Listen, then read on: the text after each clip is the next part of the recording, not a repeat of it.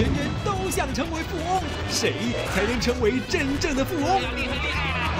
古文峰，这一次是真的走运啦！唯一的机会，请锁定中天综合台《富翁的诞生》，敬请期待。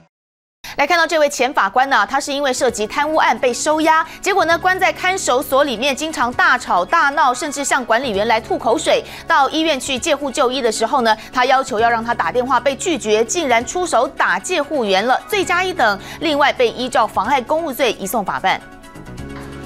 涉及法官贪污案，日前遭到收押的前高院法官邱创顺，在北所频频出状况，不断对管理员吐口水，甚至还出手殴打。解决之后呢，他就大吼大叫，不听我们的劝止，进而这个破坏那个病床的这个护栏啊，企图攻击我们的管理人员啊。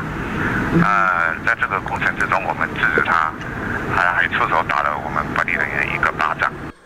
台北看守所表示，上个月十九号，邱创顺癫痫发作，趁着借护就医时，要求打电话给朋友，但他被收押进监，遭借护员拒绝。邱创顺愤而拆掉病床栏杆，要往管理员身上砸，还挥拳伤人，最后被施打镇静剂才就范。因为他这个人进来是他的适应是比较比较适应力是比较差了哈，适应适应不良。